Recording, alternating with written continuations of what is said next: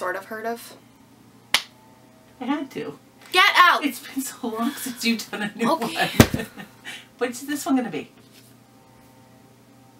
Oh, just tell me what this, the subject is. Series I want to finish by the end of 2020. Okay, carry on. I love you. Get out! I love you. I love you.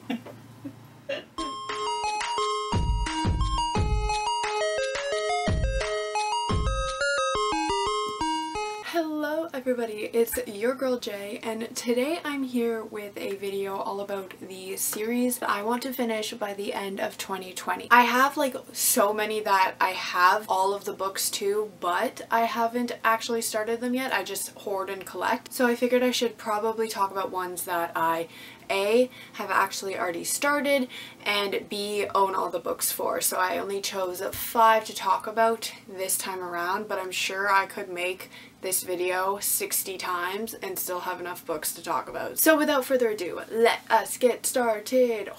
I'm gonna start with the most popular one. I tried to pick like a mixture of series that were popular and everybody will have heard of and ones that are not as popular. So the first one that I went with is the Crown of Feathers duology. I am honestly not sure if it's going to become a trilogy, but this is by Nikki Pau Petro, and I just read Crown of Feathers, and I give it a 5 out of 5 stars. I was obsessed with it. But the second book is Heart of Flame, and it is a chonker, and it terrifies me, but I really, really want to get to it because I loved Crown of Feathers so much. It's basically about these two sisters who are Phoenix Riders, and one of the sisters ends up doing something very not nice to the other sister, so she decides that she's going to go away and find the Phoenix Riders in order to join them, and it's basically like her having to pretend to be a male because they only take male Phoenix Riders and it's like her sister comes and tries to, you know, ruin her reputation with the Phoenix Riders but it is just so good and I highly recommend it so I really want to know where the story goes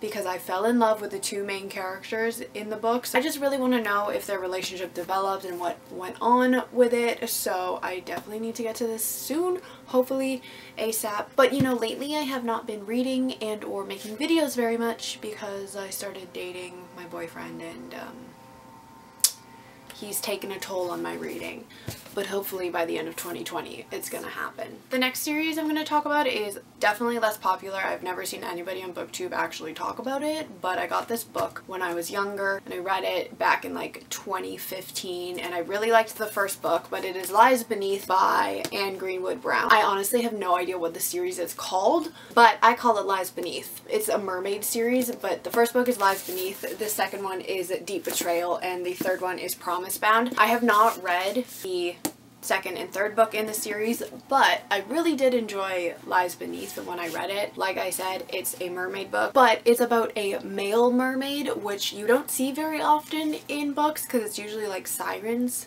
which are females, but it's basically murderous mermaids. But this brother mermaid has to try to ease the murderous tendencies of his sisters and it's just so good and I really like it. So, but like I said, I read this in 2015 and haven't gone on to the second and third book. So like it's about time. It's 2020, you know? We gotta get through the mermaid book. The next series I have is another pretty popular series pretty much everybody on booktube has read this series by now because there was so much hype about it a couple years ago but it is the foxhole court series by Nora Sakavic i don't think that it's called the Foxhole Court series. I don't remember what it's called. The first book is The Foxhole Court, which is the one that I have read. I think I gave it a 4 out of 5 stars. And then The King's Men and The Raven King are the second and third book. Have not read the second and third book. It's about this boy named Neil who is hiding from his past. He ends up joining an Exy team, which is a fictional sport kind of similar to lacrosse. But it turns out that he is not the only one on his team hiding secrets. And it's like the story of that. Like I said, I did enjoy the first book, but I have heard that the second and third book just gets better. So I'm definitely intrigued to see where the characters go because I actually really liked the characters. Some of the things that they do are very questionable and I didn't like that, but I am curious to see what happens overall. So this is another series I need to finish. The next series that I have is like a kind of popular series. Like I saw a lot of people haul this book, but I never saw them actually talk about what they thought of the book. So it is The Queen's Rising by Rebecca Ross. The second book is The Queen's Resistance. I have read this book, gave it a 5 out of 5 stars. I was obsessed with it when I read it, I think back in March of 2020. And I just received this in the mail a couple of weeks ago. So this is kind of what sparked this whole video because I was like, I need to finish that. And then I got thinking, there are so many series on my shelves that I need to finish. I'm not 100% sure if this is a duology or is going to become a trilogy or full-blown series. I don't know. There's two out right now. It's basically about a girl named Brienna who is part of the Magnolia School, which is a school where